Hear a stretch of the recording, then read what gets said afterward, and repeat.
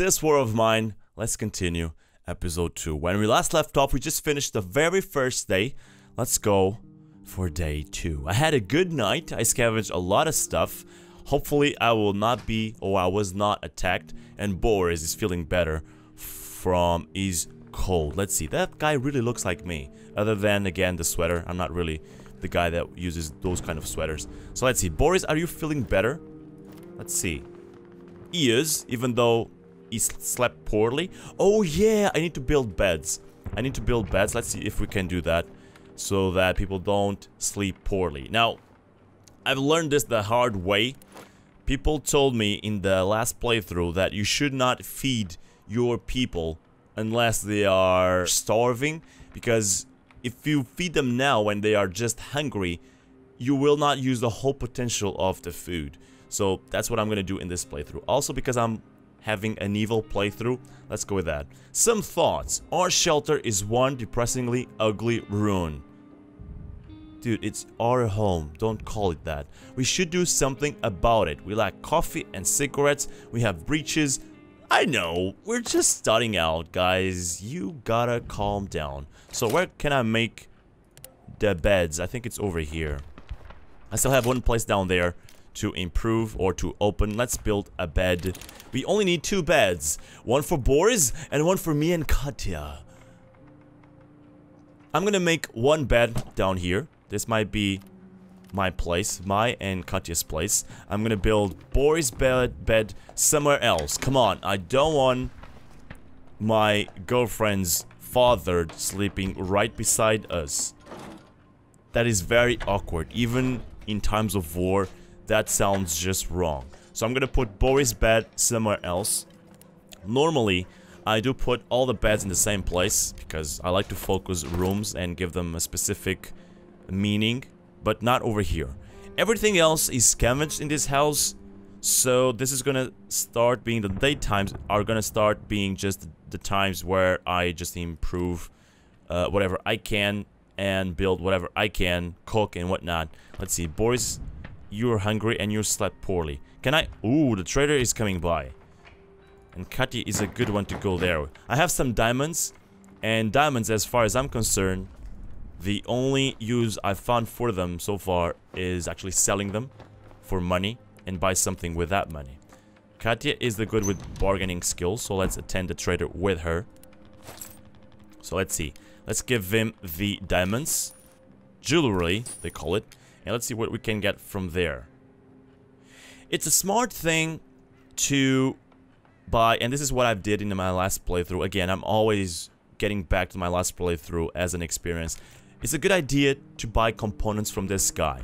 Why, you ask? Because materials and wood is one of the things you need the most at the start of the game and occupies a lot of your backpack. A lot when you're scavenging. So I think we're gonna go and get the most out of it. Let's see. This won't do, so let's take away two wood. Can I have some more mats? Uh, not so many. Let's take, wait, let's take one away. This will do. Parts are mostly needed as well, and I don't have anything else to trade him with. I could give him the lockpick, not really gonna need that. We could give him some water, but that's also useful, even though we can create our own water in the future. But yeah, parts are really useful to build stuff as well. But for now, I'm gonna go with this. Because, you know, if you watch this, this could be a full backpack of a night scavenge. And we want to avoid that. We want to bring other stuff than that. So, let's see, what else can I do? Let's see, what can I build over here? We could make a lockpick. We could uh, make our first weapon, but I'm missing weapon parts. Let's see we, what we can build. Uh, we could build another bed for Boris, but I think I'm gonna go with the oven, the crude stuff with which we can cook. Let's go with that. I'm not gonna cook today, gonna, but I'm gonna cook tomorrow probably. Let's put the stuff over there in the kitchen, where it should be. I like to make things make sense, if you know what I mean. Let's see what else can we build, because we just got a lot of parts, materials I mean, and wood. Let's see. Uh, we could have the rainwater collector, which would give us water in the future. That's a good investment. The radio tells us the news, and you can also upgrade your own workshop, by the way. Is, these are not the only things you can build. We could make the moonshine still, with which we can make alcohol. And a simple heater, but I chose the winter to come halfway through, so we shouldn't be bothered by the the cold in in a long time. I chose 55 days so we should only bother about the winter about on day 25. See, these are the kind of things that I wish I would know because this kind of makes it clear that I know and I'm gonna act accordingly. We have enough mats to upgrade? We do. And I have just enough the amount of parts. Let's do that. Let's upgrade. I'm not sure if this is the right step, but at least I will know. Why can't you keep building that? Oh my god, I am tired. Let's get to bed. Boris is gonna do that. I think Boris is going to be the one to go out at night. Because he's the, he's the one that can carry more stuff and he's no longer sick. There we go. We got our workshop fully upgraded. Let's see what's in there now.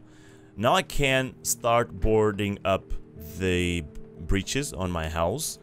Can build a herbal workshop. I have no idea if they input more new stuff that you can build. There's a guitar with which you can bring up the morale. Trap for small animals. I need parts. I need, I need a lot of parts, some more wood, and some more mats. Components. They call it components. I don't need anything else from the trader, so I can just send them off. But uh, you won't bother to stay there all day long. We could already cook. We could do that if we had something to burn. So let's see. We will burn we will burn some wood. Let's go and make three of them. You can already cook. But the thing is, I remember when the robbers come here, there's a way to stop them from stealing food. I think they don't steal meals and they steal raw food. So it's a good idea to cook as soon as possible. So let's do that. Let's actually do that. It's a good idea to do that. And I have some vegetables which will further improve the meal. So let's do that. If you use one raw food with one vegetable, it will come out as two meals, if I'm not mistaken. So that's always good. Boris actually needs to get into a diet, so I should only give food to myself and Katia. I think I've tried to find a way to kill Boris and ha have just me and Katia in the end. All together, make a family and survive throughout the days without my father-in-law. So there's nothing else I can do, I think, for now. So I think I'm just gonna scavenge. I am gonna stay here during the night. Katia's gonna stay as well. And my father-in-law will go out in the night so that me and Katia can have a moment alone. I will have to defend the house and they will probably start attacking my house this night. So let's end the day.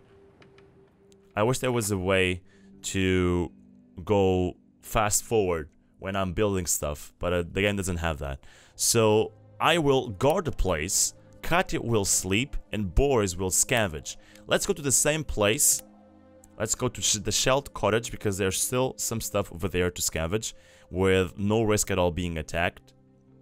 I can now go to new, new three places, three new places I mean, and there's a looted gas station, which is a place where I've never been in this game. We should go over there in the next night. I'm gonna bring a crowbar, because I remember we need to get into locked closets and whatnot, and a locked door.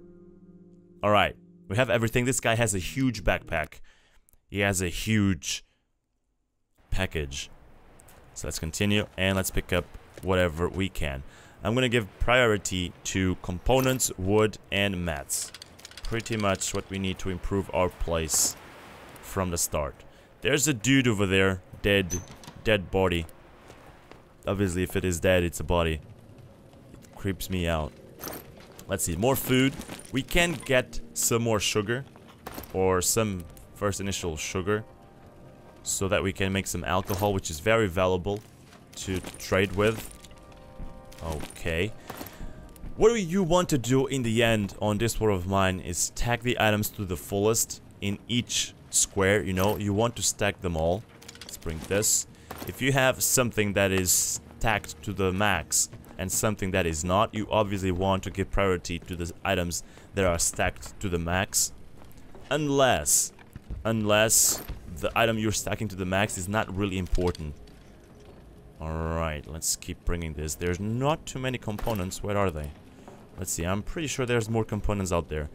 I wish this is the, last time I'm coming here because after this there will be not much left to scavenge. So I don't want to return here to just pick up, you know, just a couple things. Whenever I go to scavenge, I like to bring the max I can. There are some gunpowder shell casings with which you can make ammo. And there's actually some ammunition over here. I'm gonna bring it. Who knows, in the future. There are some cigarettes. Boris wants to smoke, so let's bring it.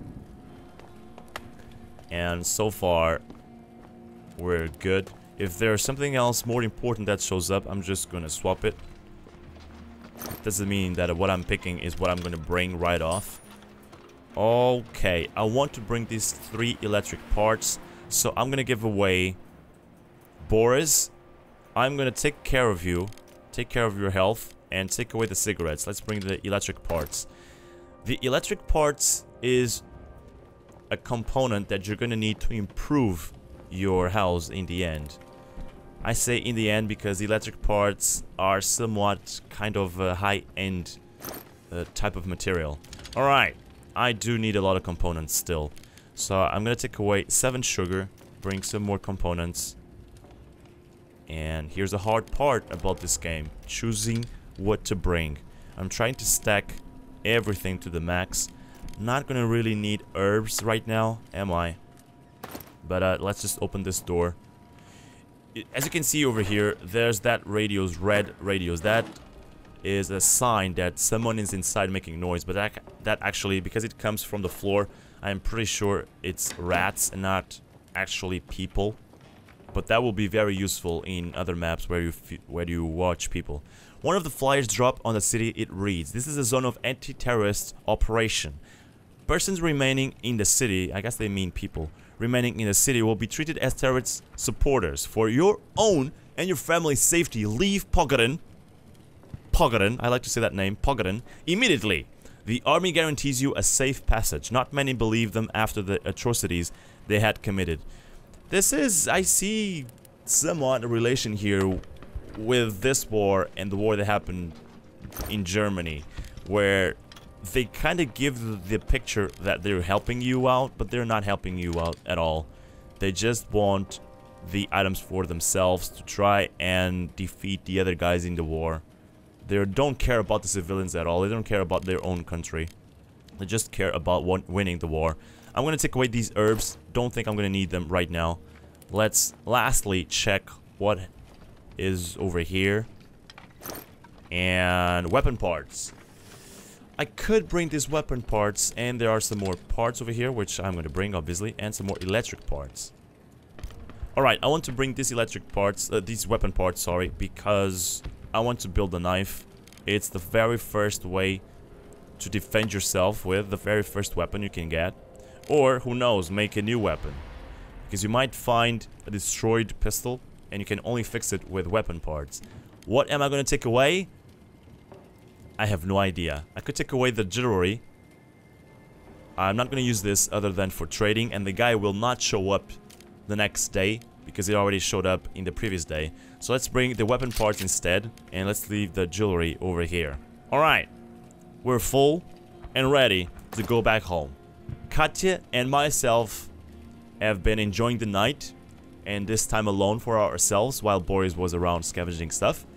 And tomorrow is to be a good day. I can feel tomorrow is to be a good day. Ladies and gentlemen, this was the second episode into this war of mine. My own war, now with my own character. I hope you have enjoyed, and I hope you are enjoying this comeback to this war of mine. Next episode will be day 3. There we go. Please like, comment, and subscribe, and I'll see you on the next one. Bye-bye. Thank you for watching everyone. If you are looking for more, feel free to check these suggestions. As a reminder, if you're looking into buying games, considering using my G2A ref link in the description of this video. Ladies and gentlemen, I'll see you on the next one, and remember, stay above the waters.